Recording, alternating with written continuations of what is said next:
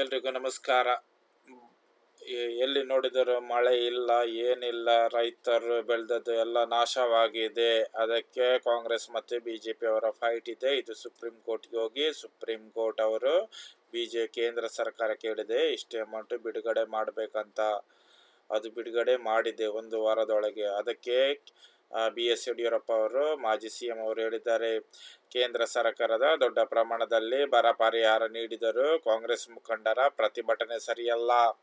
ಕೇಂದ್ರ ಸರ್ಕಾರವನ್ನು ದೂರುವುದು ಇವರ ಮೂಲ ಉದ್ದೇಶ.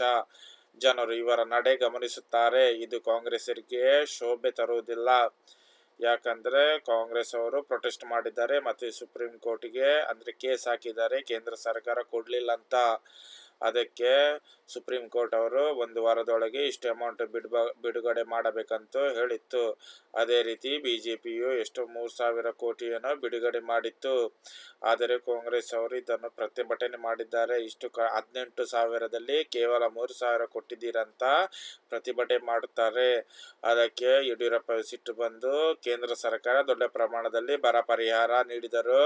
ಕಾಂಗ್ರೆಸ್ ಮುಖಂಡರ ಪ್ರತಿಭಟನೆಗೆ ಸರಿಯಲ್ಲ. ಕೇಂದ್ರ ಸರ್ಕಾರವನ್ನು ದೂರುವುದು ಇವರ ಮೂಲ ಉದ್ದೇಶ. ಜನರು ಇವರ ನಡೆ ಗಮನಿಸುತ್ತಾರೆ. ಇದು ಕಾಂಗ್ರೆಸ್ಗೆ ಶುಭ ತರುವುದಿಲ್ಲ ಎಂದು ಹೇಳಿದ್ದಾರೆ.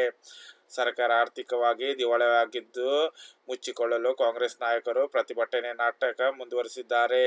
ಕೇಂದ್ರದಿಂದ ಇಷ್ಟು ಪ್ರಮಾಣದ ಪರಿಹಾರ ಬಂದರೂ ಕೇಂದ್ರದತ್ತ ಬೊಟ್ಟು ಮಾಡುತ್ತಿದ್ದಾರೆ. ಪ್ರಧಾನಿ ಮೋದಿ ಅವರನ್ನು ಬೈದರೆ ಓಟು ಬರುತ್ತೆ ಎಂದು ಭಾವಿಸಿದ್ದಾರೆ. ಈ ಸರ್ಕಾರಕ್ಕೆ ಪ್ರತಿಭಟನೆ ಮಾಡುವ ನೈತಿಕತೆ ಇಲ್ಲ.